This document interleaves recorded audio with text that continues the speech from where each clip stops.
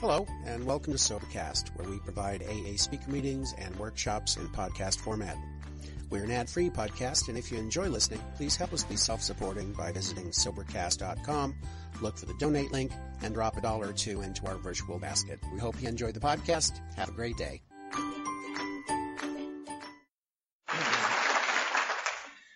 Thanks, Joe. It's my second time up here tonight.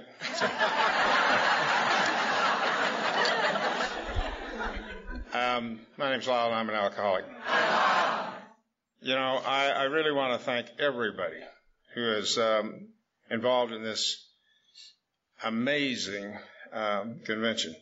This truly is a one of a kind convention. I've been to many of them, but no, never anything quite like this. And to those folks, many of whom, and there are many, who've gone out of their way to make Barbara and I feel especially welcome and, and for their warm and gracious hospitality. They've taken us out every night and been with us. Thank you very much. Thank you very much. And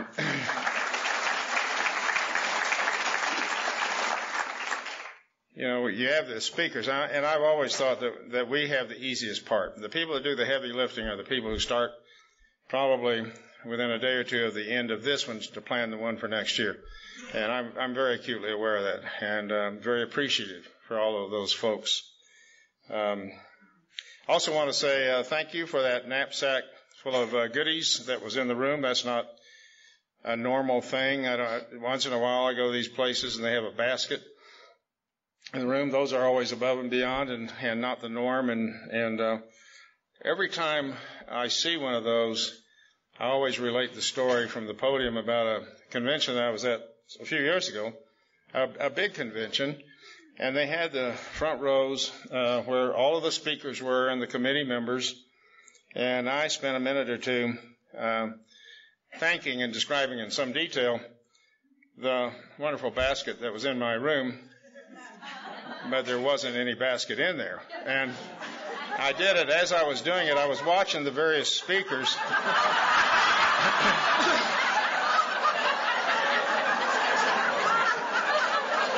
I couldn't hear them, but I knew what they were saying. Did you get a basket? I didn't get a basket. Why'd he get a basket? Yeah, and we, have talked, uh, um, and the other speakers have mentioned it too. I love our laughter. I love our laughter, and I, I shared, I think it was yesterday, that, that this is such a, precious gift that, that none of us had when we came here. I've never seen anybody come in here smiling or laughing. Not one, I, I can't think of an exception to that statement. And uh, I commented about it to some uh, another recovering um, gal in, in, in an email, and I wish I had chosen her words because she said our laughter to her represents a sound of freedom. And that's, you know, it's amazing that we can come here and do this. And so, I mean, we laugh at things that, that other people don't laugh at, but uh, I, I just, one of my friends was talking one time about that, and he said, you know, this is the only group of people. I come here and I talk about peeing in my pants, and the audience just goes crazy. and he said, I'm standing here at the podium, and I see three or four people who don't think that's very funny, which tells me they're not through peeing in their pants.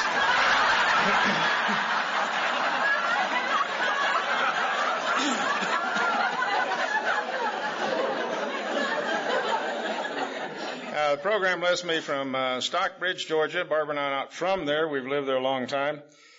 Then a year or so ago, it was kind of funny. I showed up uh, one convention. They had me down from Stockton, Georgia. No big deal. I go to the next one. They had me down from Stonebridge, Georgia, and I, I don't care. But the, the best one was when Barbara and I were in England a few years ago. They had me down from Stockingbridge, Georgia. and and the Brits were just going crazy. They, said, "Well, where is Stocking Bridge? I said, "It's right across the state line from the Alabama state line from Pantyhose, Alabama."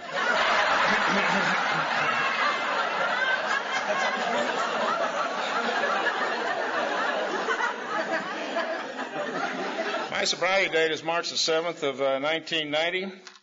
There are three days as I ended my drinking career that are burned into my brain with great intensity. And I talk about those March 7th, 8th, and 9th. And I don't ever want to forget uh, any of those days.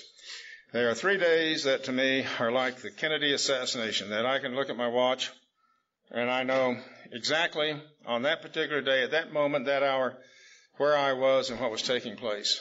And a number of years have passed. 24 since that date in uh, 1990. And yet every year they roll around, I'm intensely conscious of those days, each one of them, and the time throughout each of those days. You know, when it says we're supposed to talk about what we're like, what happened, what we're like now. And I used to say what it was like, and I didn't think it was a big deal. Still don't really, and I hear a lot of speakers do that. And I get a very uh, cryptic email from some guy in southwest Georgia who identifies himself as an old timer, and he says, um, I'm listening to one of your CDs with some newcomers, and you're misquoting the big book. and I thought, I don't talk about the big book from the podium. A number of speakers do. I wish I had that gift. I mean, they'll come up and they'll talk about page so and so in the paragraph. And I re, I re, I've been through the big book and I, am familiar with it, but I can't tell you where it was. Although sometimes, uh, just for the heck of it, I'll tell you, you check the second paragraph, top page 132. I have no idea what's there, but you'll go look. I know you will. but anyway, he says, uh, it's not what it was like, it's what we were like. And I thought, oh, but I put my A face on, so I sent him an apology and said, well, I'm sorry, I'll try to do better. and um, apparently that was not adequate. And uh, so I get a second email from him. He said, well, it's, me. it's very important. He said, if uh, some of us were sitting on the front row and you started that way, we might just get up and walk out thinking, if you're going to start by misquoting the big book, the rest of the message can't be worthwhile. and so I took, at that point, that whetted my competitive spirit a little bit. And uh, I took my A face off and I said, um, well, you know, I said, I don't think if that occurred that I'd burst into tears at the podium. Probably wouldn't rush out and get a drink. And I said, as long as this seems to be a continuing topic, let me just remind you, it doesn't say in how it works. Rarely have we seen a person fail who's thoroughly memorized the book.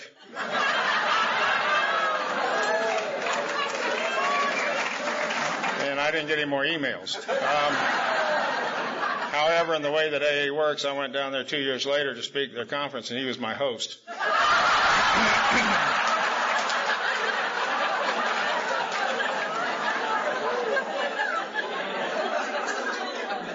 Only in AA. I mixed the order up. I'm going to start with what happened because it was a big deal. It was a national attention getter there was a media blitzkrieg that occurred as a result of it. And that is on March the 8th of 1990, an airline flight crew was arrested from flying for flying from Fargo, North Dakota to the Twin Cities, Minneapolis, St. Paul International Airport, and I was the captain of that flight crew. Had never happened before. We were the first. Now I've seen uh, those incidents that you have too. Pilots arrested for going through, getting caught going through TSA. But in the years since my incident, they're in the news one day and they're gone the next. But because I was the first one, this was a media sensation. Typically, we do not talk about what we did for a living from the podium. Once in a while, somebody will disclose, but we don't talk about it. It has nothing to do with our journey into recovery, our walk through this thing called alcoholism and into recovery. And the only reason I talk about it is because it was the central theme of the story that drove all the media attention. And if I had been anything else other than an airline pilot, the media wouldn't have seized on it the way they did for months and months, nor would I have set myself up for a federal felony conviction.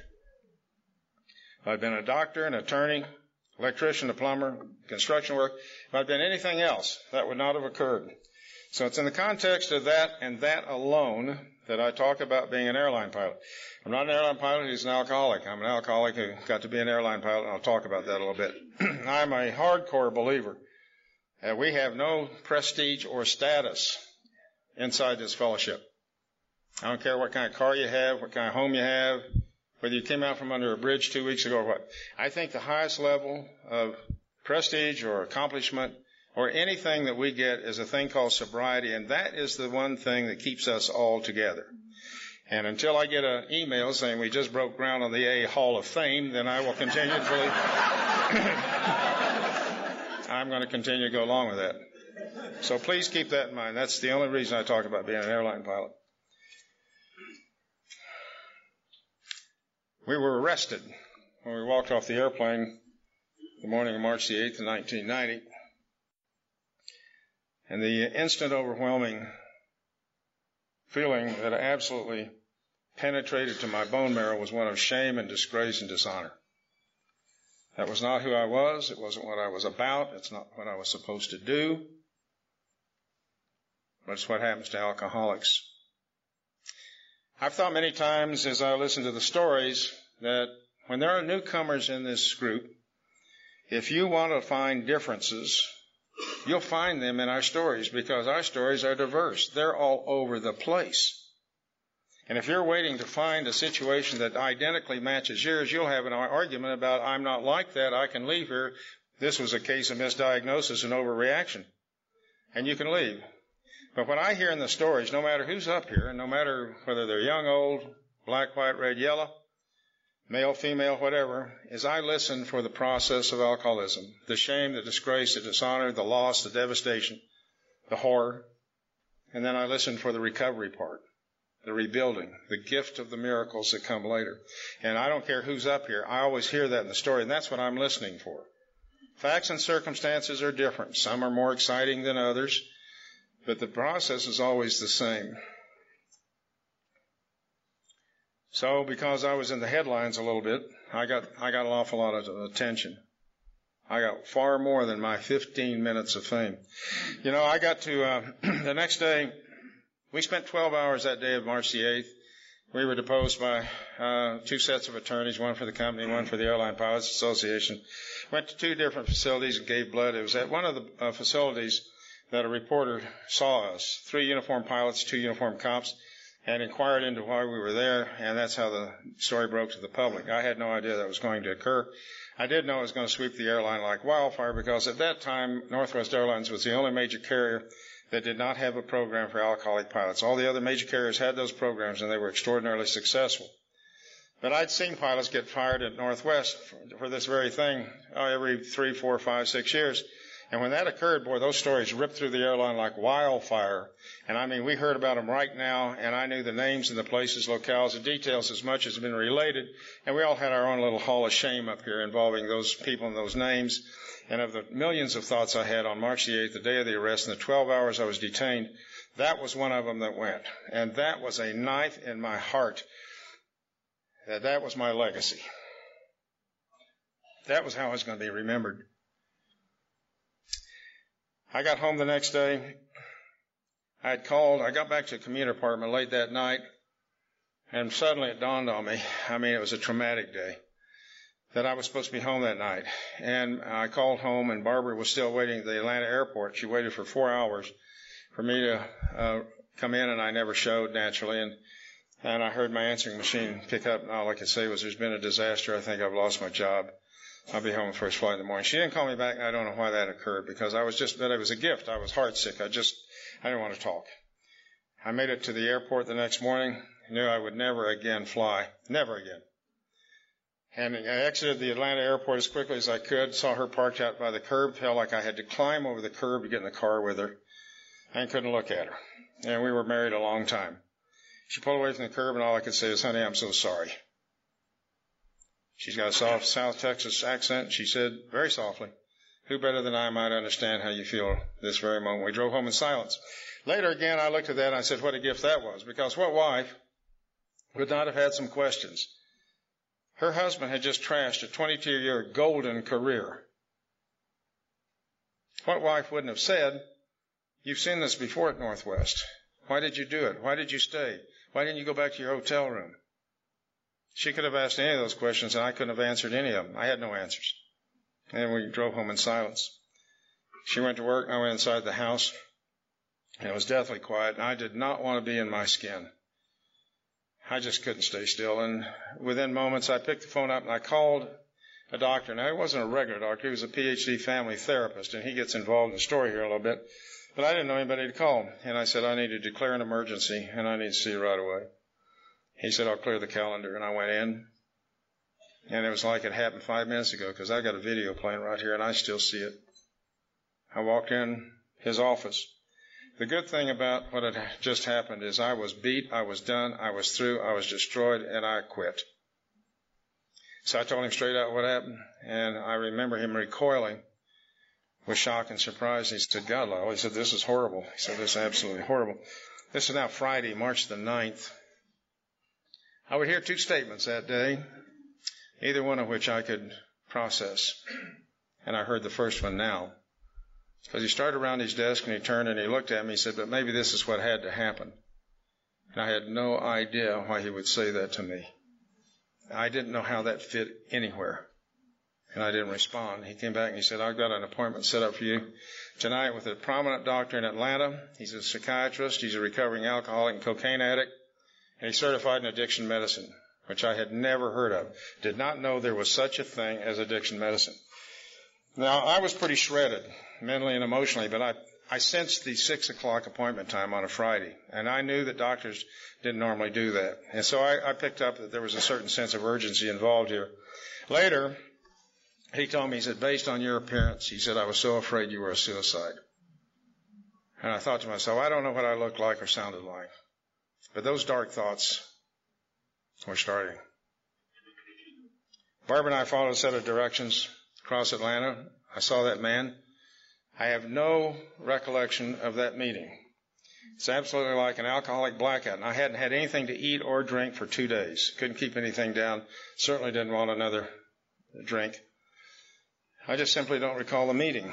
And um, all I recall is that I was there. I was straight on, dead on, honest as I could be. And when he asked me a question, I gave him the answer. And at one point, he turned and he looked at me and said, "Well, you're an alcoholic, and you need to get into treatment tonight." I remember not reacting to that, which was a surprise to me because I've hated alcoholics my entire life. Both my parents are alcoholics, and they died from this disease. I saw what it did my family. I saw the destruction. And I swore I'd never be an alcoholic. I saw what it did in my native community. I saw what it did when I drove, flew around the house, or the cities in, in the, in the United States, and I saw them in the alleyways and the doorways. I saw them sprawled out on the park grass and on the benches. Those were alcoholics. That was my very, very thin picture, my profile, my idea of what an alcoholic was. And yet somehow in that 24 hours since the arrest, someone in some manner I'll never know or understand, deep down inside the dots got connected and I knew I was that one thing that I never wanted to be and I certainly never wanted to use that word. And I looked at him I said, I thought you would probably tell me that and I'm okay with it. But I said, I just got home today. I said, please let me go home. I said, I'd like for Barbara to just hold on to me. I said, let me, let my mind just uncoil. Let me absorb what's happened to me. And then I'll go into treatment. He said, You need to go into treatment tonight. And I took a breath and I said, Okay. He gave us instructions back to the treatment center back across Atlanta, which turned out to be two and a half miles from the Atlanta airport. I had no idea, of course. I didn't know anything about treatment centers. Why would I? We made the final turn, and the headlights hit a sign that was there at the time, no longer is, and it said Anchor Hospital a hospital, a hospital for uh, alcoholism and other chemical dependencies. And I hit the brakes, and the lights were directly on the sign, directly in front of me. And I sat there and I felt like somebody just kicked me in the guts. And I looked at it and I thought, my God Almighty, how does my life end in a treatment center for alcoholics? This wasn't supposed to happen. And I had a little quick mini flashback over the years. The trophy moments that I'd been able to experience, uh, the accomplishments and the achievements, mostly against the odds, the things I was so immensely proud of. And I was no longer even sure that they existed. It was like a giant eraser swept them off. And I remember sitting there completely empty, devoid of any sense of value as a human being, no self worth. I didn't count. I read a, a summarizing paragraph um, several years later at the end of a long report by a doctor. And he said, given the history and background of this man, it was unlikely to believe he would ever be a productive member of society. And I remember kind of flinching at that and thinking, how did he come up with that? That's pretty dismal. And then my next thought was, I was the one that gave him all the information.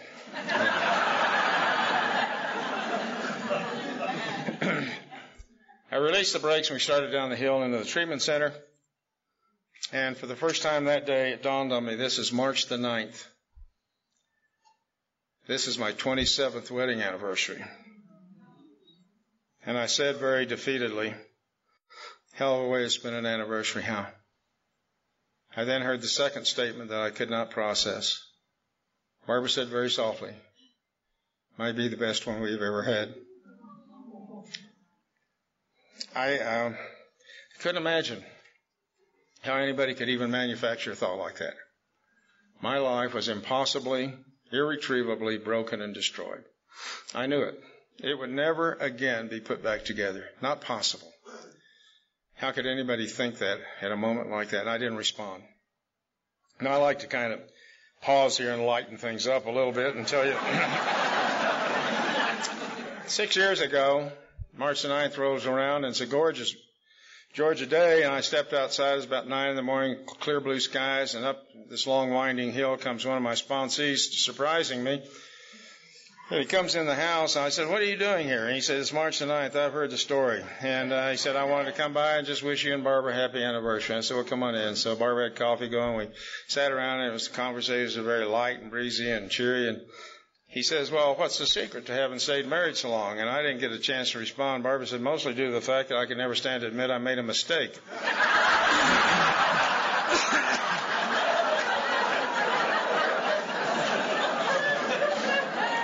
this point in my talk, I usually caution newcomers, do not share with your significant other the fact that this is supposed to be an ego deflating program. because that's her job and just 24 7. Some years ago, we were backing out of the driveway and she didn't have her seatbelt on. I looked down and said, put your seatbelt on. I don't want, I don't want to lose you. She gave me a look. I said, well, I don't want to lose you.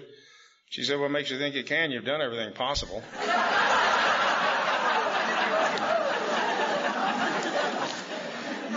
This past, past March the 9th rolled around and we celebrated number 5 1. You stand up, Barbara.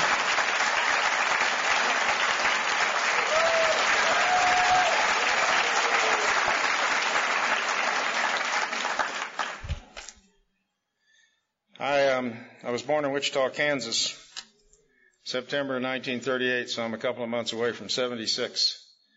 I have no problem with that. It's just a big number that got here really quick. And uh,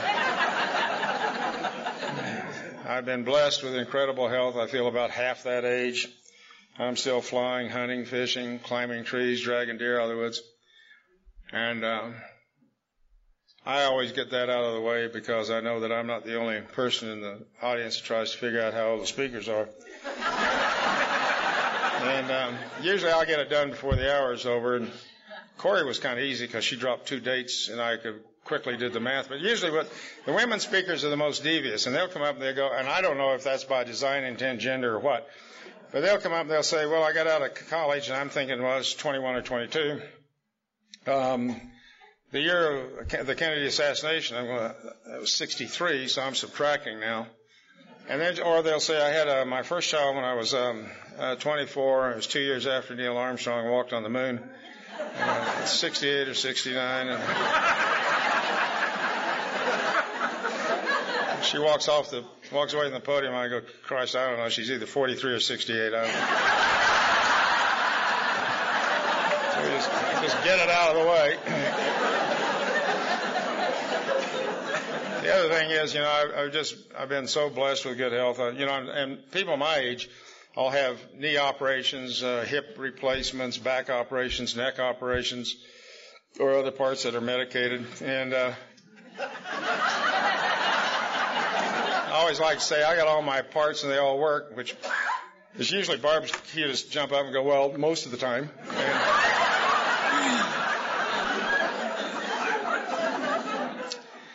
I grew up in a uh, World War II housing project on the southeast edge of Wichita, Kansas, a very economically depressed area called Plainview.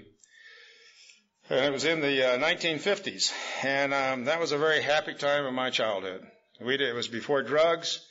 Um, we didn't have any gangs, drive-by shootings. We had no school incidents. Nobody had anything. Poor is a very subjective term. And if I'm on a reservation and I'm looking at homes that have corrugated tin roofs and no water electricity, I was not poor by those standards. But we never had anything. And everything we had was patched or broken, taped, wired. And it was a constant struggle for my parents just to stay even with things or try to catch up. And yet I was very happy there. It's a very diverse community. There were blacks, whites, Hispanics, and a small Native American segment, and everyone got along. I rarely recall any difficulty taking place inside that community. And I was a member of the um, the small Native American community. I'm an ethnic mix of several different things, but the uh, things that really seem to like the drinking part are the Irish and Comanche parts. And, uh, so I usually am going to have an eventful evening one way or the other. And I love the, uh, obviously, since you can't choose your parents, I thought, well, that's not a bad combo. And I love the Irish music and the freedom songs and the spirited rebel songs. And when I was flying around the country, I knew where all those places were that had the authentic live Irish entertainment. And I'd head for those places. It'd take me just very short time to get into my hotel room, change clothes, and go to these places. And I'd stay until the, until the band quit. And they'd sing all these authentic Irish songs, many of which I knew because I had all the albums and, and knew those. And I loved that stuff. That was just great stuff for me. And then I, I might be someplace else, or the mood was different, or the planets aligned differently, or something, and and uh, the other side would kick in, and I'd think, uh, this would be a good evening, just have a couple of drinks and go kill some white people.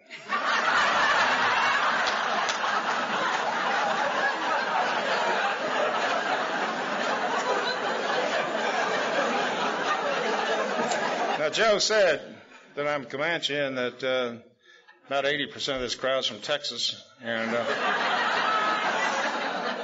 you took our land, but I guarantee you it wasn't easy. Not only that, I got even. I went back to Texas and got a captive.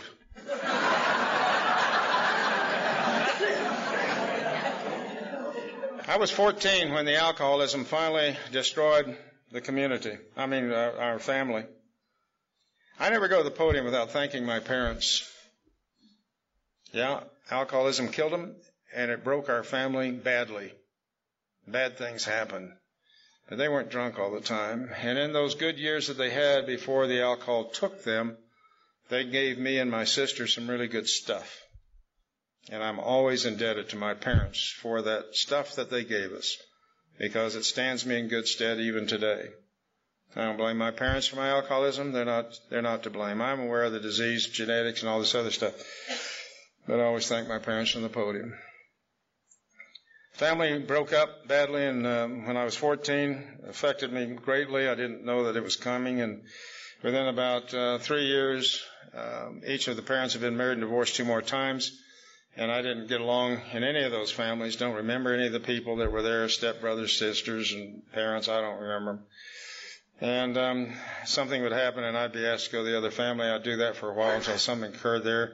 Then I'd go back, and that's kind of how I traversed my way through high school.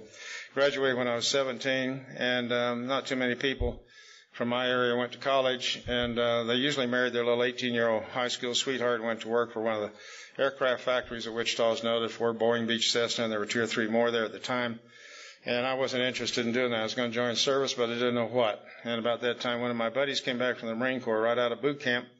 And he looked, I was impressed. He looked really sharp. And uh, we sat in a bar for about three or four hours one afternoon, and I just sat and listened. We drank beer, and he regaled me with these cruel, sadistic stories of what, what Marine drill instructors do to their recruits in boot camp. And I'm hanging on every word. And uh, it's probably an early sign of flawed thinking because I'm thinking, God Almighty, I just can't wait to go do that. And, uh, I was 18, and within a couple of days, I found a Marine recruit who signed on the line, and off I went. And I hear a lot of stories over the course of each year, and there are two common themes, neither one of which will fit in my story. It's true for the people who come here and who relate that to you, but it's not, not part of my story. And that is I never fit in. When I got to the Marine Corps, I fit in. The other one is I had that first drink, and boy, the magic happened. Didn't happen for me. It took me a good long while. I always like the effect of it, like everybody else does. But I, you know, I hear that a lot, and I, I'll tell you something. I think normal drinkers like the effect. That's why they drink. But I saw some information not long ago, and I'm not sure how credible it is, but it makes sense to me. They said that we alcoholics like the effect five to eight times greater than they do. And I believe that. Now that I can understand. I get my teeth into that. But I don't know that what's happening to me isn't happening to the normal person next to me. I mean, they like to dance too after they've had a few drinks. Not quite like I do, but, uh, but, you know, so I, it took me a while. This is a chronic progressive disease. And it, I was always in a hard drinking environment. Eventually I pulled away from the crowd and I became noticeable, but not for a long time. I'm not going to do a big long drunkalogue tonight. I think it's important for identification purposes, but if I get everything into this story in the time that I'm trying, then I've got my timer up here. Lee's recorded me so many times he could come up here and lip sync this, but I know that I've only got another two and a half hours. So so, so I got a lot to pack into this. I'm going to tell you my drinking was like the drinks, the, the drinking stories you hear. I drank too much too long. Things didn't happen bad at first and then they started to happen. I lost cars. I got in fights. I woke up in places I didn't know where I was or how I got there. I had many, many blackouts. Many, many blackouts. I had two DWIs while we were living up in Minnesota. I was convinced they were separated about five or six years. I was convinced they were just coincidentally bad luck. Things could happen to anybody. That was my theme song. That could happen to anybody. And, and, and much of that was true until I got into treatment and I made a list of all of these pages and stuff. I thought that couldn't all happen to one person. and, you know, I got a good Indian buddy. He was talking about being in court for his sixth DWI before he learned that that did not stand for drinking with Indians.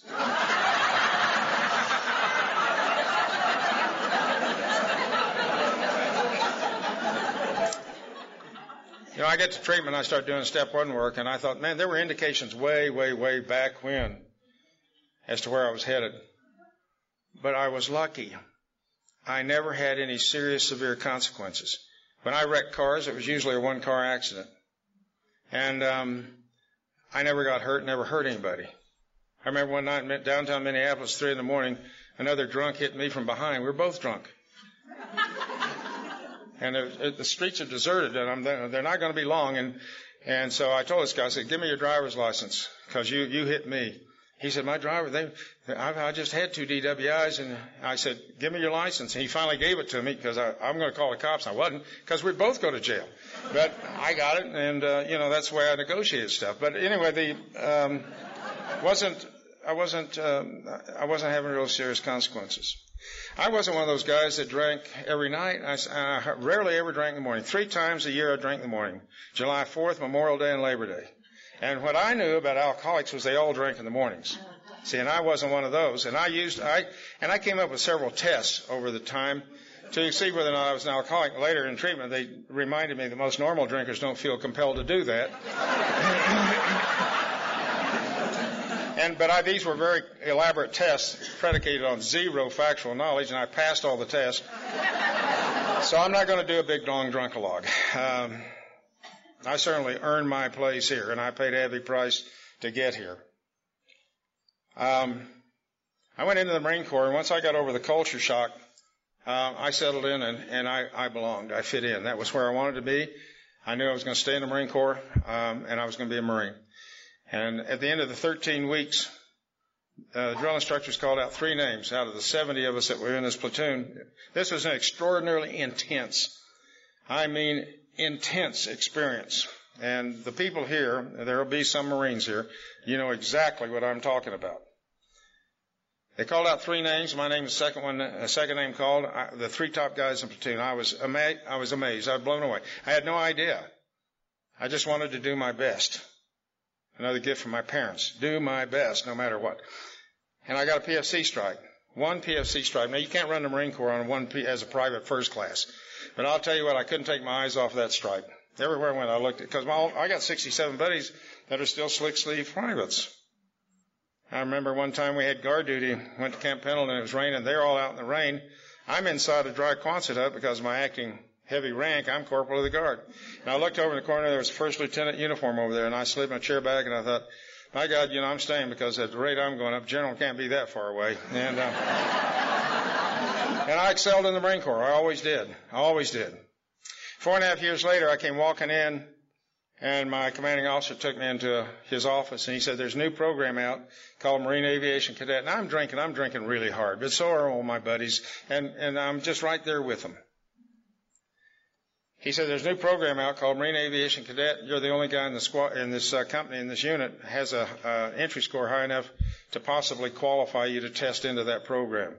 I'd always wanted to fly, but that was reality. That was not a reality thing. That was fantasy and myth. I knew that people that got to be pilots had to go to college, and people that got to be pilots came from upstanding families. They didn't come out of this ghetto area I lived in, and they didn't come out of an alcoholic home, and they didn't come out of the Native American segment. I, I knew that. But I wanted to go test, and so I tested and I passed. And he said, this is a very long program, 18 months. He said, traditionally, about half the people don't make it.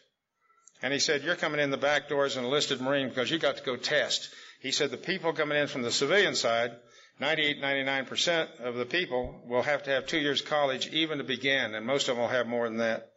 And I knew I was starting off way behind educationally, and that I stood a good chance of being in the 50% that didn't make it. And I said, I want to try. I went home to Wichita. There was a powwow going on. I had grown up in my culture. I knew the songs and the dances. I had been a dancer. And they had an honoring dance for me, a farewell dance. I went out and led it. We went around the arena. And the next day I'm in my car going to Pensacola. And I'm really impacted by this whole thing. I'm thinking there's no way I can come back 18 months or sooner and to this community and tell them that I didn't make it. That I'm back because I washed out. I failed. I can't do that. I'm the only one who's getting this opportunity. And I was driven with that for the entire 18 months. And there were four phases at that time, and every, through every phase I was the number two guy. My grades were good, but I never drew any satisfaction or complacency from those grades. I never thought I was going, doing as well as I thought I was. And I was watching my friends wash out daily, sometimes weekly, coming over to me and never meeting my eyes because they had tears in theirs, I think and their dreams were over. They wanted to fly as badly as I did, but for whatever reason, they couldn't and they wouldn't, and I would never see them again. And every time they walked away, I thought that'll be me someday at some point before this is over. The final six months, we went to, I left Florida and went to Beeville, Texas for Advanced Jet Flight Training Command. If I could complete the next six months, I was going to be successful. First night in town was a Friday. I hooked up with a bunch of my buddies. We went to the officers club, got drunk. That's another thing I will tell you. I do not remember ever drinking without getting drunk. Now that can't be true or I'd be dead. But I'll tell you, that is my recollection. I don't remember just having a few drinks ever. When I drink, I end up drunk. And that's the only reason I drink. So we got drunk at the officers club. It's Friday night. They said, let's go into town. There's an old fashioned drive-in called Cain's, and that's where the good looking South Texas girls hang out then we've got an inside track because we're going to be officers and pilots, and uh, so let's go. And I said, okay. And uh, I was never very gutsy with the gals, but I'd had a lot to drink, and they went after a carload of girls, so I kind of hung back to have some more drinks because I'm rehearsing some things to say. I noticed the driver wasn't talking to anybody, and finally I thought I'd had enough, and I was, I had some, come up with some things that exceeded my normal level of cleverness, and I'm, and so I went up to the driver's side, and I thought, I sauntered up there. I thought she may just take her clothes off sitting there. Uh, she turned and looked at me, and everything left, and uh, and I'm empty, and I don't know what I'm going to say. And I looked, and I said, she, I saw brown eyes, and I said, you got the prettiest brown eyes I've ever seen. Yeah, but it come out right. Go, yeah, those guys, very nice. Yes.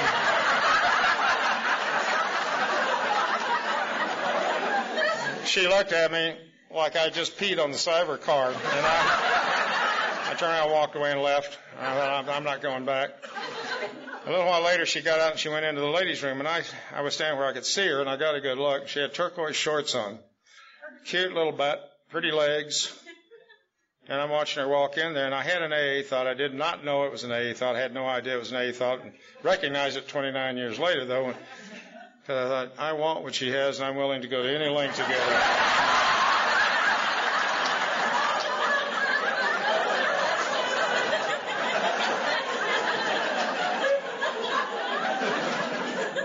Did. Saw her the next day, chance encounter. Um, bought her some coffee. I was scared, but nervous, but I was sober. She told me her name was Barbara, and it'd be okay if I called her. And on February the 25th, 1963, her She's here, so I won't tell you which birthday it was. But her birthday, she pinned a set of gold wings just like these right over my heart. She pinned some gold bars on my shoulders. Hollywood couldn't have scripted a better day. I'm now a young second lieutenant Marine fighter pilot.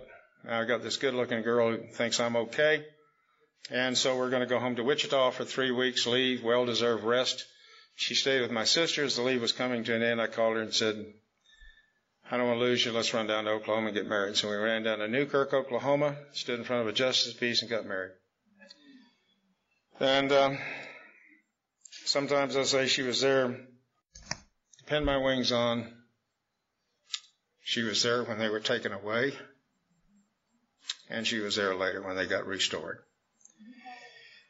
We joined. Uh, we went to the Marine. Uh, we went to California. She joined me out there. She was youngest wife in the squadron. She was 20 instantly pregnant, which I thought was part of my Marine Corps duty. We had a little boy, and eight days later we had another little boy. And I got tired of. Eight, no, eight days later. I'm sorry.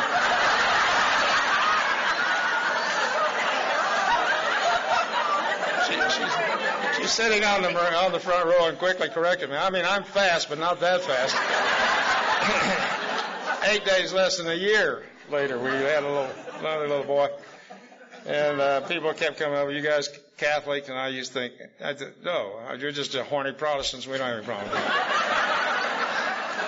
I went to Vietnam. We were one of the first jet squadrons into Vietnam. She went back to Texas with these two little babies.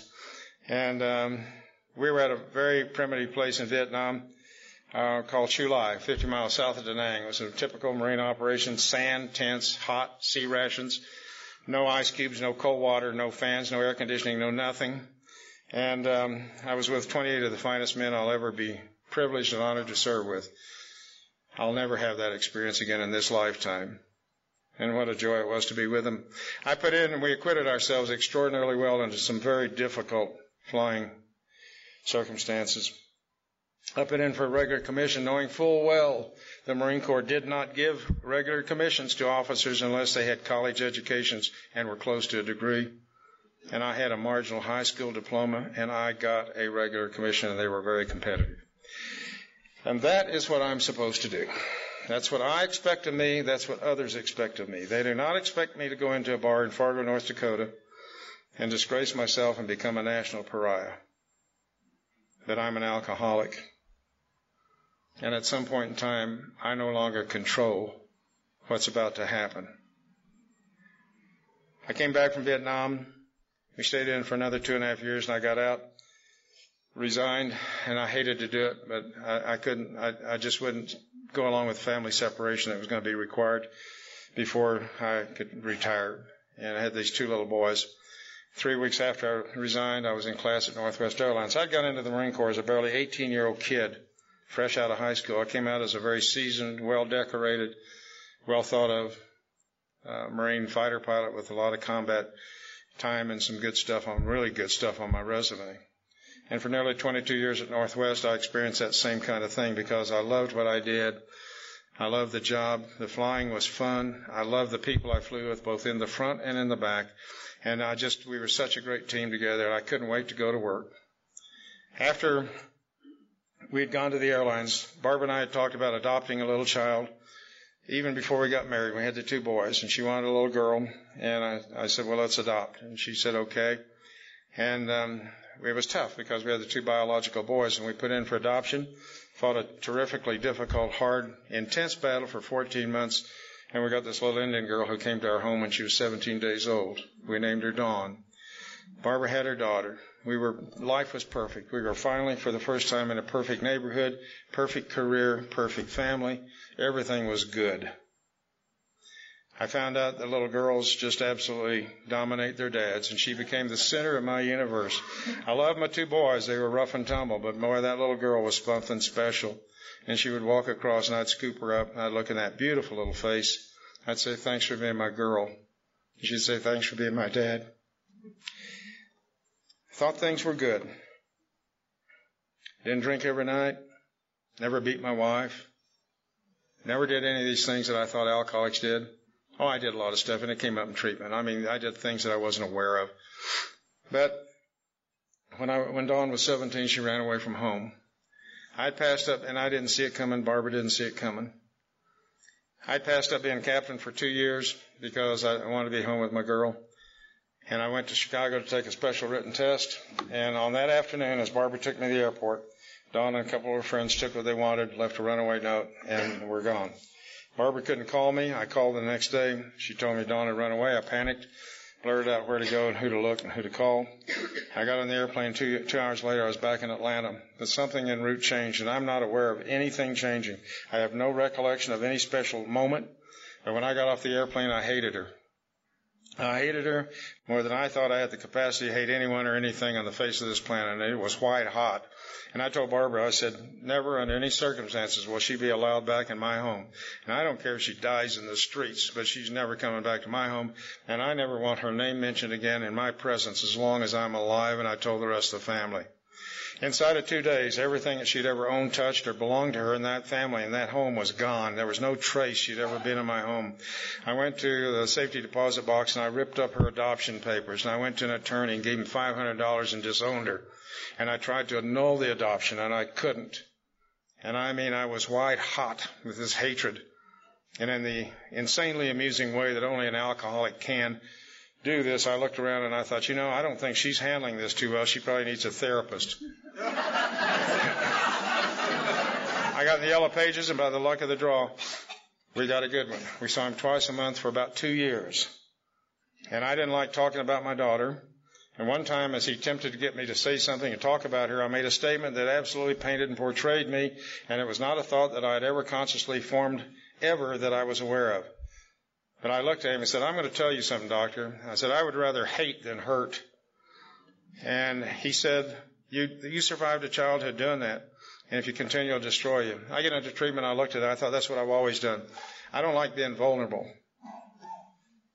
And I've learned early on that if pain was headed my way, if I got angry enough, fast enough, and that wall came up quickly enough, I don't feel the pain because I'm angry. I am angry. And that was my one and only coping mechanism. Everything he told us came true. The alcohol quit working for me. Nobody mentioned Dawn's name, but Barbara said, I don't want you drinking at home because you say things that I can't stand to hear. And she was right. And so I would get on a layover. I knew every place that we ever laid over, every city, every town, everywhere. I would change clothes, quickly get to a liquor store, get a quart of booze, get back to my room, lock the door, turn the TV on. I wouldn't go to the door if a crew member knocked. I wouldn't answer the phone if they called, and I drank. And when I drink, I mix them strong. And that first drink, sometimes I have to gag and choke a little bit to get it down. But after that, I'm home free. They go down quick.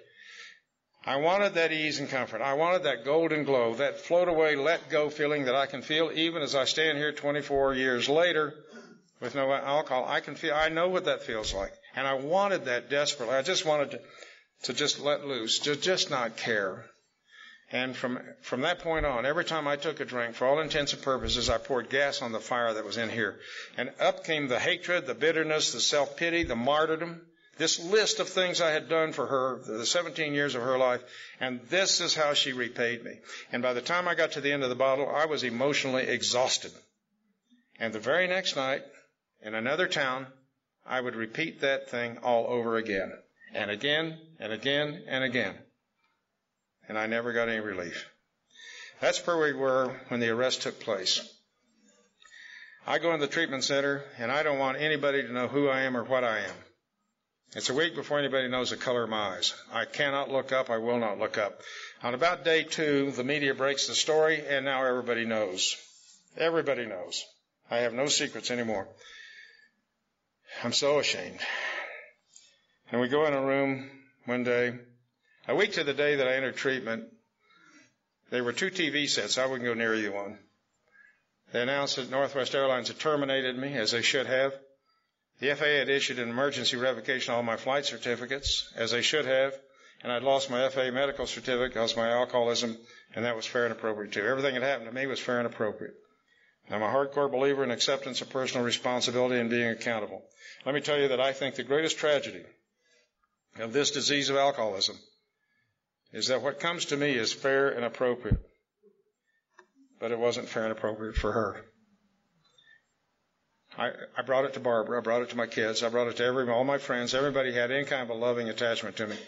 They got to suffer as a result of my alcoholism. And that is the worst thing I think of all. I went into a group room about the end of the first week, not intending to talk or not to talk. And they closed the door, and there were eight or ten of us in there. And for some reason, I started to talk about my daughter, and I no longer had that wall of pain or of anger up there, and I broke down and cried. I hadn't cried at my parents' funerals. I didn't cry. A couple of years ago, my sister sent me an email and said, I grew up with you. I didn't think anything could ever make you cry. I cried. And, um, and then I was embarrassed. It was one of the greatest things that ever happened to me in treatment because I finally started to restore that full range of human feelings that we're all entitled to, that I had shut down so many years ago. There were no visitors, no phone calls at this treatment center, and I got a hold of Barbara and said, get a hold of Dawn. Let's put the family back together again.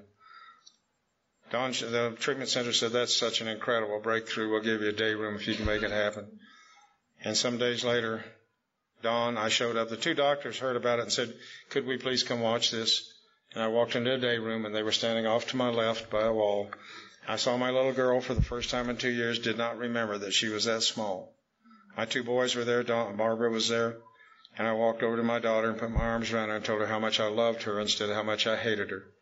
And in her arms was a five month old granddaughter. My daughter had gotten married and I didn't even know her last name.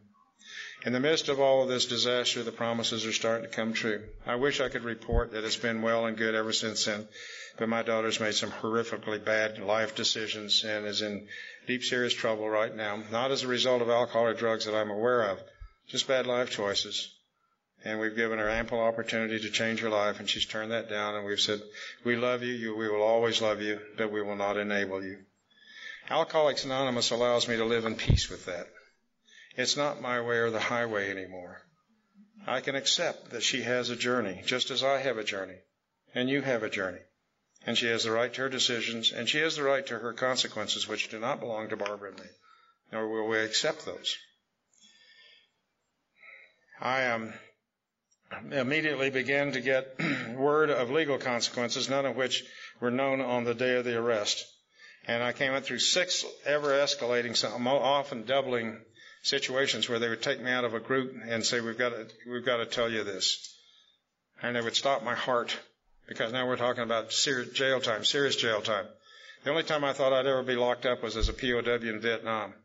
And now they're coming to me every few days and I can't breathe. It's like they suck the air out of the room.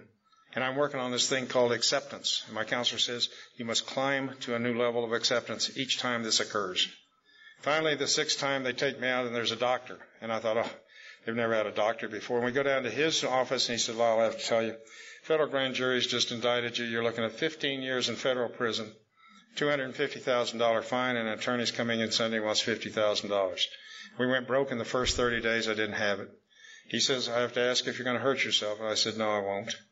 I was numb. Every, every nerve ending shorted out. I went back to my room and I'm not aware of collapsing. But what I do remember is my head lying on the carpet and for the second time in treatment I was crying. I said, God, I can't do this anymore. I can't even do it one more time. I have nothing left. Not even one more time, please. Please help me. And I slept that night. I had many, many intense life changing experiences in treatment because I went in there hoping that what I was hearing was truthful. And I think that the only reason that we come to this podium is for the benefit of the newcomers who want to know that is this real? This stuff we read in the big book that our sponsors tell us, that they, the counselors tell us, and doctors in treatment, does it really work out there on the streets once we leave here? Does it work in the other world out there? And that's why I'm here. And that's why I think the other speakers are here as testament to the fact that it does. I was quickly in a three week trial, get out of treatment. Quickly in a three week trial, heavily publicized. There was no place I could go where they didn't stick a camera and a microphone in my face. There was no routing, no way we could get to the courthouse or back. But I had an advantage over the other two because I'm an alcoholic. And I'm in the meetings every night and they recognize me, and it takes me a moment to settle and understand that I'm in a safe place. I never shared. I just sat in there and I listened to you share, And there was an energy in that room that I took to the courtroom the next day. And a criminal trial is indescribable. No one, there are no words to describe it. When they're telling the world what a no good, worthless piece of crap the defendant is, always has been, always will be. It's being picked up and paraded all over the country. It's in the tabloids. Jay Leno's having a great time. All the, and, and, and I'm dying. Jay Leno called me in June of 96 with an apology, and that's another story I don't have time for, but, um, I would look across and I couldn't respond. I would sometimes look across the courtroom and I would see Barbara, and she would mouth the words, I love you. And I would nod, and I'd be okay. The trial lasted three weeks. Jury went out, and jury came back. I had an amazing story with an attorney that I don't have time to go into. And I told him, I said, I'll be found guilty. I wanted to plead guilty, and he said, you can't for a number of reasons. I said, okay. I said, I'll be found guilty, and when I am, it'll be okay. I want you to know I'll be okay. I'm the captain. Everything comes to me first. Jury comes in, guilty. Uh, he was standing next to me, flinched. I reached over and patted him. I said, "It's okay. It's okay, Peter." We went back about a month later for the sentencing. Sentencing guidelines were in place, 12 months to 18 months. I knew I was going to get 18 months. I was the captain. A day and a half before sentencing, my attorney calls me and said, I have bad news. He always had bad news. He never, he never called me and said, I got some good news. It was always bad news. I've been in treatment with a federal judge, and he cornered me every time he could, and he said, I tell you that the sentencing charade, uh, phase is a charade. He said, even though you're going to talk and maybe witnesses, your attorney, he said, we never change when we come in from the door. He said, the sentence is set the minute we sit at the bench, and we never change. And judges and attorneys around the country have corroborated. They said that is true. So I knew nothing was going to change. And um, my lawyer says the judge is going to exceed, and he's notified the other two attorneys and the media that he's going to depart upward, and he can go all the way to 15 years. So I knew nothing I said was going to have any effect. I already knew the drill. And so it was my turn to stand up and speak. And I was so scared I didn't know what to say or how to get it out. And I just said, Lord God, just let me get something from the heart. And I talked about being grateful to be sober. I was grateful for the things that happened inside my family. And I had accepted responsibility for this incident from day one. I had never made an excuse. But I couldn't change what had even happened yesterday, so there was nothing I could do but accept it. The judge announced a sentence on me of 16 months, two months less under the guidelines, after all of this advertising. And it just absolutely blew everybody away. Several years later, a couple of years later, he told my attorney, he said I was going to sentence Lyle to four years in prison until I, he said what he said, and I thought about him in terms of a human being in his service in Vietnam. And a miracle took place that day in the courtroom. To this day, the other two pilots do not know that they were headed for three years because I got 25% more. They, they got 25% less than I did. And so they got a 12 month sentence. He also did something very unexpectedly. He said this is a complex legal case, not designed, this law was not designed or written for pilots. And he said there'll be appeals. I'll let you three gentlemen remain free all your appeals are in play. The other two said, okay. I said, no, I'll go to jail now. I'll go to prison now. Because I learned in here that I deal with life on life's terms. This is a first person story. So what you hear in here is about I, me, I, me. This is not about I or me. This is about we. This, this, everything that is involved in this is from Alcoholics Anonymous. Every one of the steps that I learned to use and implement is what this is about. And I said, I'll go to prison now. I've been convicted. The judge told my attorney, he said, no defendant before or since has ever done that. And he said, I was lost for words. And I looked at my attorney and I said, he wasn't lost very long. so on December the 5th, 1990, 34 years to the day that I entered Marine boot camp, I checked into the Atlanta Federal Penitentiary as inmate 04478-041. I don't tell prison stories on the podium. I had a lot of experiences in there. Audiences love prison stories. They have nothing to do with my recovery, but my recovery has everything to do with how I dealt with the people, the places, the situations, circumstances, and experiences that I had in there. Had everything to do with it.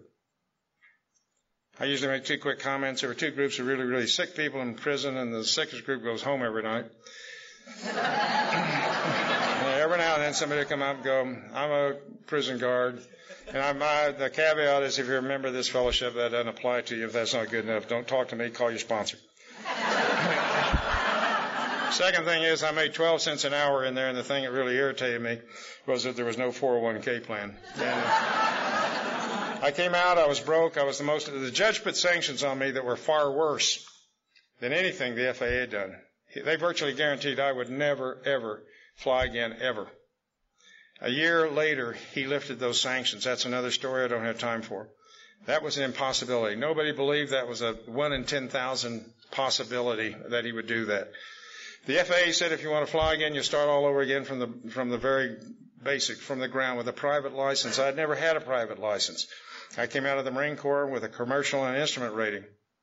None of my pilot buddies thought it was possible to literally start from the ground up and get back four licenses.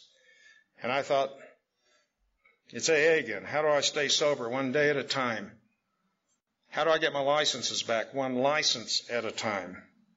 And in ten and a half months, through nothing but just sheer hard work, I had passed the writtens for all four licenses. And that's difficult. But there's a flying part that goes with that, and I couldn't do that. I'm now working in the treatment center that saved my life, and I'm working in the counseling department.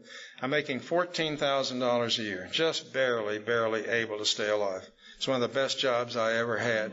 But I knew that I couldn't come up with the 10,000 or 20, whatever it was going to cost to do the flying. And so I was done. And about that time, another miracle happens. I get a letter from a, a Northwest pilot he says, I have a flight school you didn't know anything about up here in Buffalo, Minnesota. And he said, I want you to come up and live with me and my family and go through my flight school free and get your, get your certificates back. I was under 13 conditions of probation. I went up to Minnesota, checked in, and I spent 44 days with that man and his family. Rained out 14 days. I flew 78 hours in the remaining 38, 30 days and I got four tickets back. I had two of them by 11:15 one morning. I don't think that's ever been done before. I'm in an AA meeting every night. I'm up there because that's where I that's where I belong. That's what gave me my life back. That's why I was there was because of Alcoholics Anonymous, and so I'm in AA. I came back and I had those certificates. Had amazing experiences up there. I came back and I had the four licenses, and I thought, well, that's good, but nobody's going to. Uh, there's no way I'll ever fly on American. I'm not going to fly again ever. A month later, those certificates came actually physically arrived in the mail, and within an hour, I got a phone call from the head of the pilot union at Northwest, and he said their grievance had been terminated, uh, activated. I never, I mean, filed, but I never activated it because I never fought the termination. I said they were fair. It was, they were justified. He said, this is the best phone call I've ever made because he said three hours ago, John Dasburg, President CEO of Northwest Airlines, made a just personal decision to bring you back and put you in full flight status at Northwest. I sat there with tears streaming. I sat there with tears streaming down my cheeks. I, they, this was a miracle beyond anything I could have dreamt. I went back in a very elaborate, and very emotional back to work signing ceremony, never to be a captain again. I was okay with that. At least I was going to be able to give Barbara some kind of a retirement. That had been a knife in my heart that she signed up, went all this way, and ended up with a zero. Northwest now had a program, and I'm part of the program. And so for five years, my goal was to be the best employee they ever had. I was certainly the most visible. And I found if I just stay sober, these miracles continue. And I'm very active in the program, the airline. Speaking next month uh, at, in, uh, at American. Been with all the major carriers. All I'm trying to do is stay sober a day at a time and make sure that John Dasburg never has an ounce of regret for bringing me back. His level of courage is beyond the word extraordinary because if you think about it, he gambled his career on mine. If I had gone back and relapsed, with all the publicity that I had, the board of directors would have booted him for letting me come back and do it a second time. He would never have been welcome anywhere in American aviation. I could not believe he would hang it out there that much. So I'm just the risk was enormous. I went back, and as I was finishing my last year, I was speaking at United Airlines, coming up on my final year. I get a phone call late that night. John Dasburg has just changed my back to work agreement for my final year, which he's aware of that I'm uh, approaching. He wants me to be a 747 captain. I went back and I checked out and I flew my last year in the left seat of a 747. Mega million dollar airplane, 18 flight attendants, 400 passengers, fully trusted because I am a sober member of Alcoholics Anonymous not because I'm Lyle Prouse. I'm standing here as a sober member of Alcoholics Anonymous. I don't have anything unique going on. The, the best part of my story is that I get no credit for it. If I was unique, there'd be no room for me at the podium because you couldn't connect. You couldn't do what I did. And all I did was stay sober and follow the suggestions of my sponsor and the people around me in AA, one day at a time, without ever knowing what was coming. I retired honorably September 1998, and within a couple of days of that, Judge Rosenbaum, who is now chief judge in the Twin Cities, toughest judge up there, called my attorney, and he said, I've been on the bench 16 years. I've never supported a petition for pardon. I tell Lyle if he wants to make the attempt, I'll support his. I'd never considered such a thing. The judge wrote a three page affidavit that is so powerful that even to this day, by the time I get to page three, I have tears in my eyes. This is what the judge says, who tried me, sentenced me, and sent me to prison. You ought to read this affidavit. The paperwork goes in, and two years later I come in, and there are eight phone messages just telling me that I had just received a presidential pardon. If there are felons, and this is pretty high bottom crowd, it looks like to me. So, but some of the places, some of the places I go, I know that half of them are felons, and a presidential pardon is absolutely mega huge. I'd rather have that than win the lottery. And so I, I, uh, you know, all of these things came, and, and only because I'm staying sober. I want to close and I want to share something with you that I heard Father Martin share one time, and he had taken it from a card that a girl had sent him. So, and I got, got to spend some time with him, and he, I was always captivated when I was in his presence. But this is the way that I think that life goes, and it's certainly a theme that I can subscribe to. And that simply says, I do not wish you joys without a sorrow, nor endless day without the healing dark nor brilliant sun without the restful shadow, nor tides that never turn against your bark. I wish you faith and strength and love and wisdom and goods, gold enough to help some needy one. I wish you songs, but also blessed silence and God's sweet peace when every day is done. My Comanche name is Yetzet the Natpa. But you know me as Lyle, and I'm an alcoholic, and I thank you for having Barbara and me here.